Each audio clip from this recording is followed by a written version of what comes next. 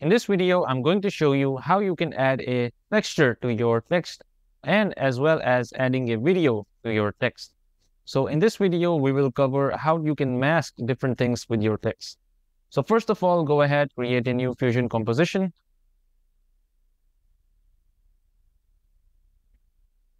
And over here, just go ahead and add a background. Connect it with your media out and then drag in a text. Connect this with the background and you can go ahead, write something within the text section. So let's go with an extra bold font and set the text size to 0.2. So here we have our text.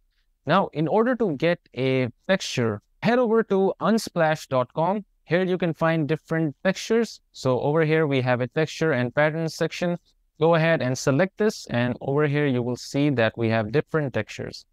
So go ahead and select this one because this is the one that I'm going to be using for this video or you can also go ahead and select any one that you like.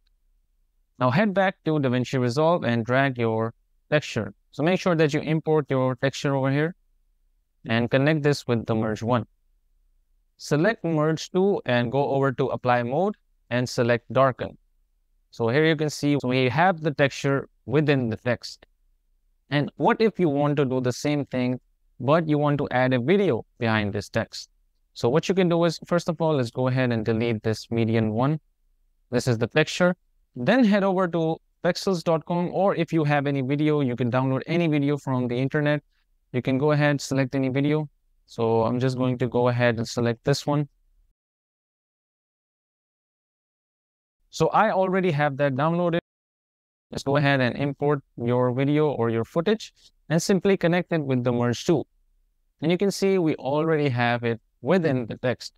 And just make sure that if you don't have the merge, just set the apply mode of the merge to darken.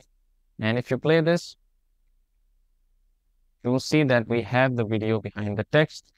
And if we simply just go ahead and increase the size of this text, Let's go with 0.3. And if you play this now, you will see that we have